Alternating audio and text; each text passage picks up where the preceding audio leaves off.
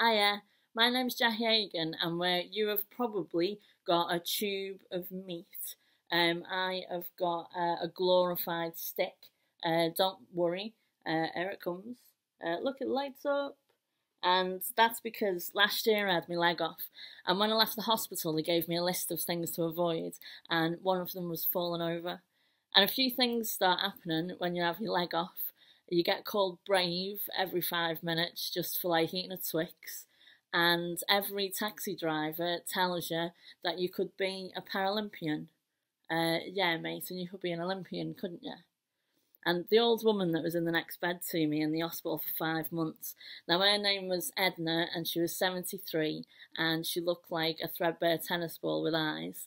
And she hated scousers, manx, tea, coffee, swearing, toddlers, wisdom, jumble sales, my tattoos, my hair, my face, me, and above all, nurses. Now, I loved Edna, right? She taught me some great things about the world.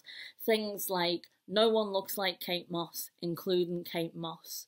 The fight for sexual equality is not between men and women, it's between people and dickheads.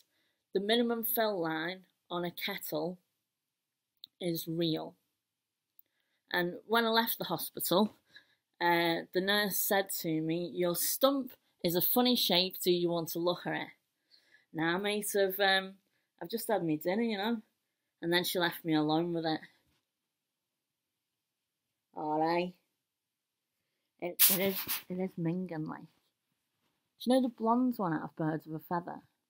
Well, it looks like a miserable gob. Could hide it away.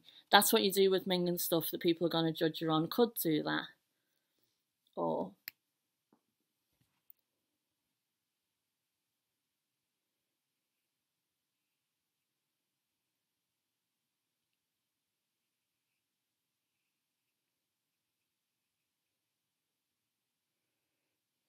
Alright.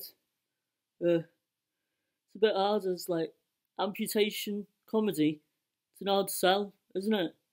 She dresses me up as celebrities and the audience have to guess who I am. No life, is it? Um, so what I do now when things are hard is I think of things in my head that I'm grateful for.